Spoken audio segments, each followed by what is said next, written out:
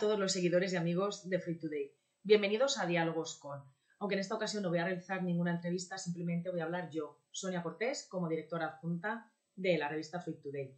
Ahora que ya tenemos marcada una desescalada del confinamiento global, desde Free Today queremos aprovechar para hacer un poco de memoria hortofrutícola y queremos utilizar esta sección para poder realizarla.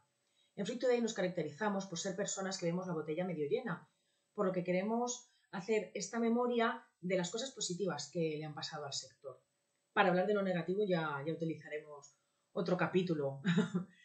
Después de acabar con el papel higiénico eh, en los supermercados y llenar nuestras despensas de conserva, nos dimos cuenta de que también necesitábamos comprar producto fresco. Y es ahí donde las frutas y hortalizas ocuparon un papel primordial en nuestra cesta de la compra. El consumidor se dio cuenta de que sin la agricultura no se puede vivir.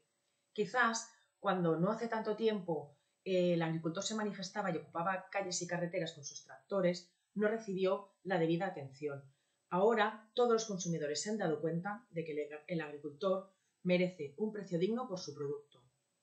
Cuando la mayoría estábamos cumpliendo el confinamiento, ellos tenían que dejar de lado sus familias y salir a trabajar de sol a sol para poder alimentarnos y sacar adelante este país.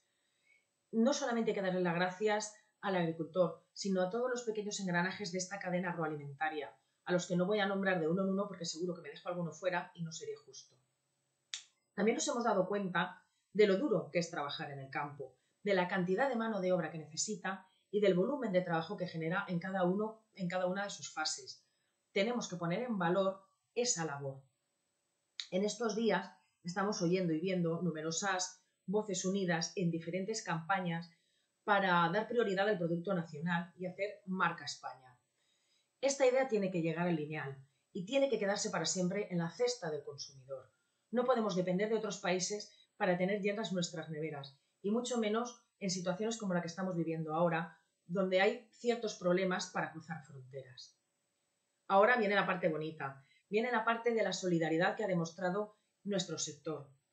Cuando no todo el mundo podía llevarse podía llevar a su mesa un plato de comida, todas las empresas hortofrutícolas eh, dieron una, muestra, una gran muestra de solidaridad, con donaciones a los bancos de alimentos, a ONGs y proyectos solidarios, alimentando a los sanitarios y voluntarios del Hospital de IFEMA, con ayudas a hospitales, eh, cambiando la producción de envases por la de guantes, la de fitosanitarios por la de geles, por poner algunos ejemplos.